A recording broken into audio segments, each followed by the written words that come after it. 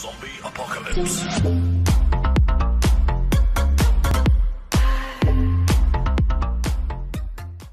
Magandang araw mga boss, ito yung bagong gawa natin na line array na D8 Yan po. Bagong gawa po yan.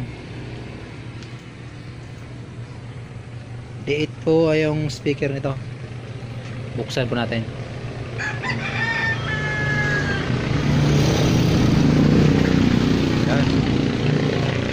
Yan Naka-speak po na po yan? Na D8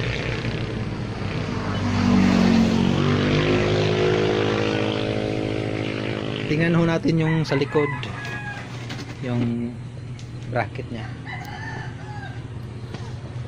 yung sa bracket nun po yan.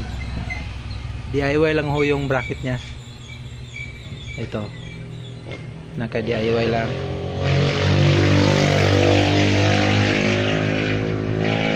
ito ho yung a-adjustan natin. Kung i-adjust natin yung ah line array. Kak- kung tukur ba natin ng konti. Yan. Yan yung mga butas nya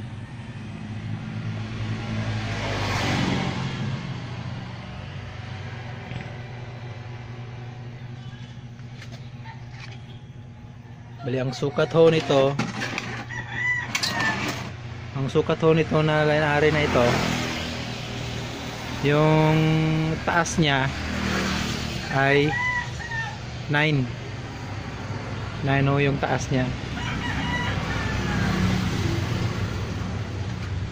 Yung speaker kasi 8 yung speaker niya 8 bali yung height niya is 9 yung lapad naman niya is yung lapad niya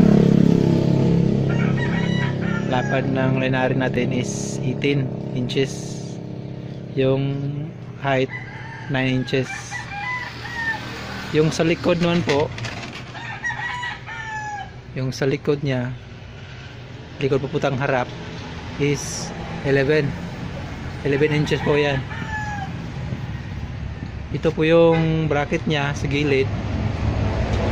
Ginamit ko po dito is tinat tinat po yung ginamit ko dyan Ayan. tinat yung ginamit ko. Dito tinat sa screw. Yung ginamit ko na flat bar ay 1 inch. Yan nasa baba. 1 inch yan. Yung sa likod naman ginamit ko na flat bar is 3 4 lang. Ito.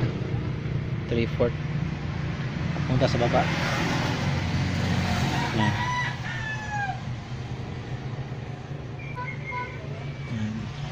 Ano yung speaker niya? Yan. Isa dito sa taas, dalawa sa baba. Isa na naman dito sa pangatlo, sa sa ilalim, dalawa.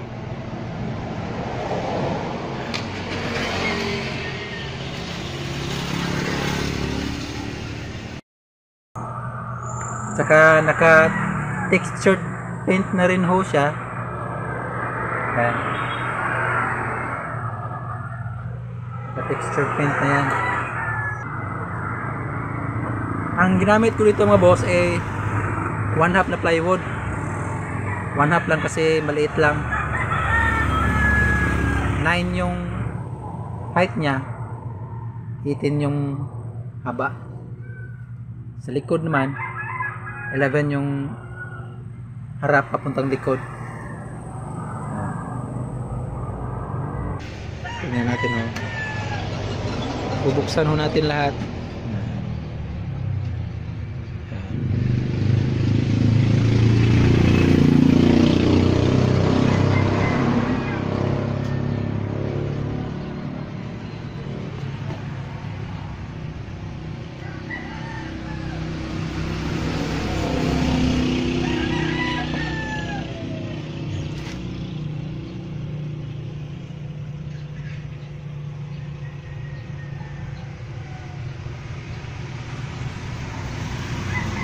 Yan ho yun.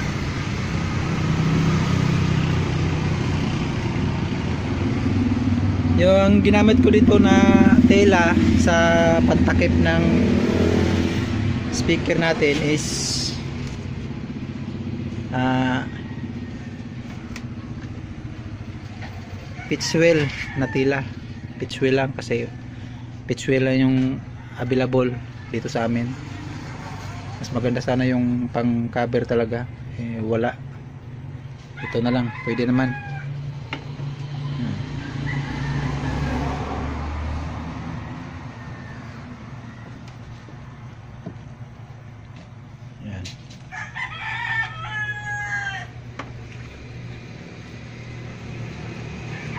papakita ko sa inyo kung paano i-adjust yung bracket sa likod.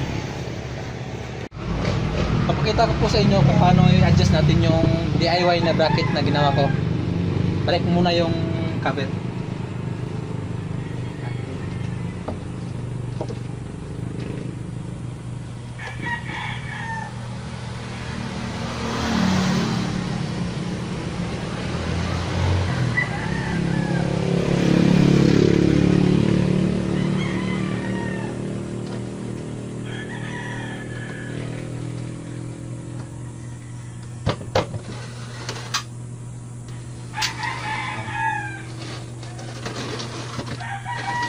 yung sa likod.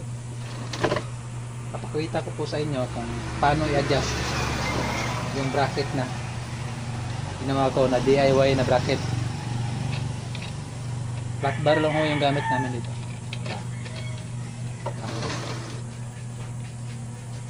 Una muna tayo sa taas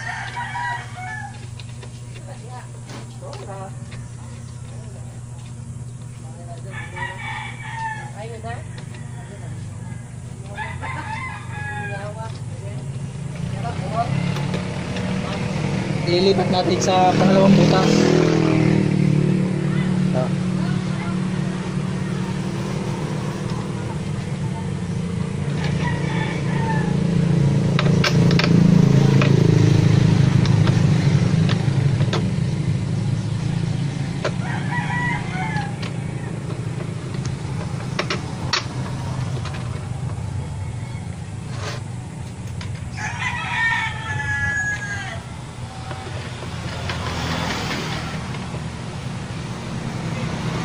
ito yung pangalawa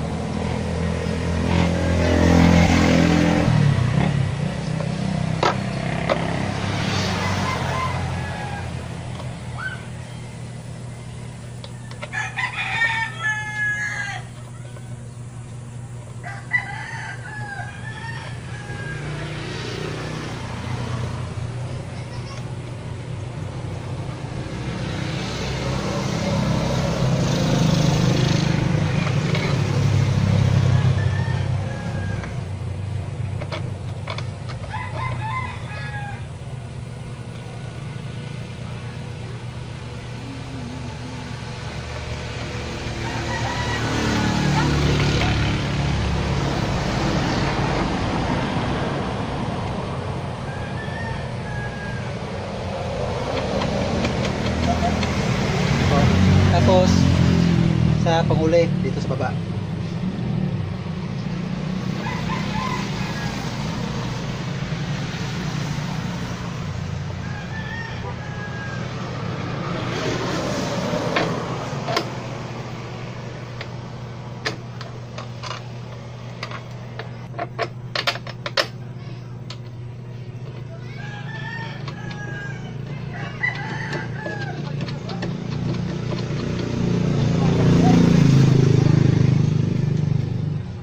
Yan po. Ano yung tsura niya. Pasensya na po. Pasensya na po kasi maluwag pa. Yan. Yan. Pero pag nakasabit ito, hindi na ito ganito. Tapos sa hihigpitan lang natin. Maluwag po kasi.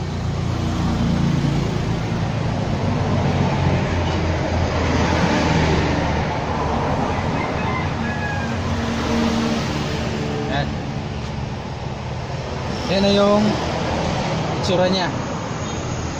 Nasa pangalawang butas pa lang ho tayo. Ngayon naman, sa pangatlong butas. lipat natin kung ano nang ah tsura niya. Yung ganun na baka curve. Ito medyo konti pa. Yan o. Lipat natin dito sa pangatlong butas.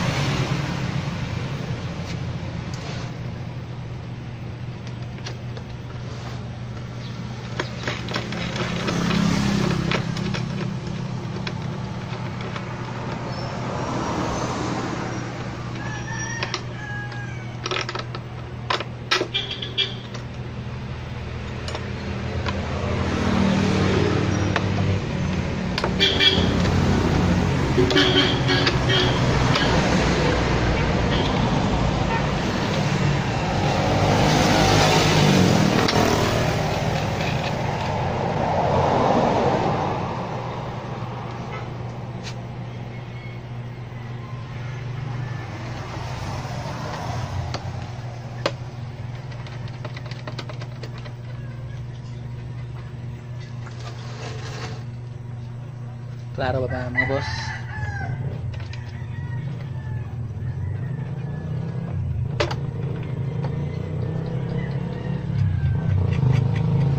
Pasensya na ako kasi DIY lang ho yung bracket natin.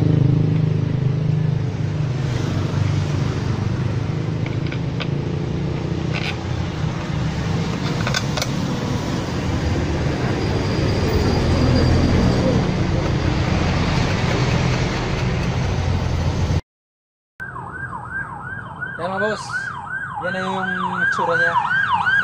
Yung forma niya. Adjust na siya sa likod. Ito isa naman, ito yung tsura niya. Hindi pa nag-adjust. Tingnan ho yun natin. Tingnan ho natin yung sa likod niya. Yung, ano yung in-adjust sa likod.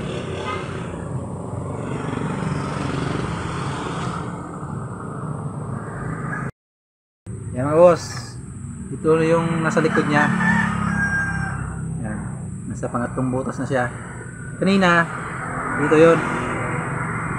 Mas pangalawa dito. Hmm. Ito yung panghuli. Yan.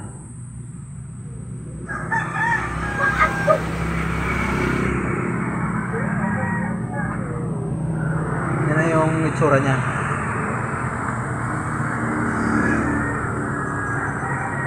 ng line are. Itong isa naman, ito yung nasa likod.